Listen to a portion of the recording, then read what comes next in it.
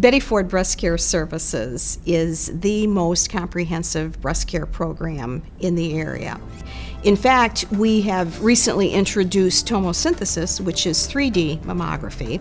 So, women who have dense breasts and may have one additional criteria, uh, high risk criteria, as designated by the NCI, are eligible to uh, have a tomosynthesis in place of their annual mammogram. 3D mammograms are acquired by the machine taking a series of several images um, at slightly different angles and then using a computer to reconstruct that into slices. So we can step through uh, the breast in uh, slice by slice instead of looking at the whole breast at one time. And so since we can look at it slice by slice, it's less likely that a small cancer can hide behind an area of dense breast tissue because we're looking at those on separate slices.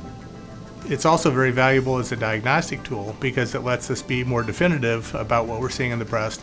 And so we're able to characterize something as clearly benign, like a normal lymph node in the breast, or suspicious enough that it needs biopsy. And so it also helps us decrease the number of people we have to bring back for a follow up exam in six months. It's particularly exciting, I think, for patients who may have a family history of breast cancer, for an example. Uh, they are extremely anxious particularly if they're called back because they've had a suspicious mammogram.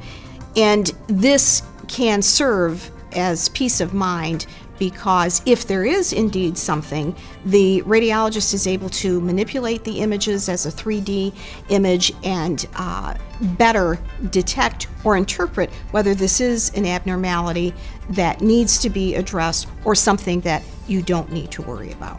We've actually been doing um, tomosynthesis for quite a while because even before it was approved by the FDA, we were part of the clinical research trial uh, to prove the effectiveness of tomosynthesis in picking up small early breast cancers.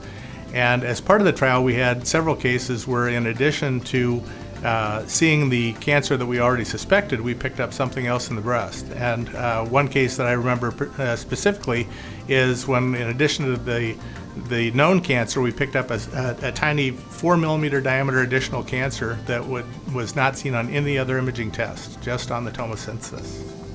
It's another example of how Betty Ford has influenced the radiologists, the staff, uh, and myself in terms of making sure that we bring the absolute best technology and proven technologies uh, to the women in our community.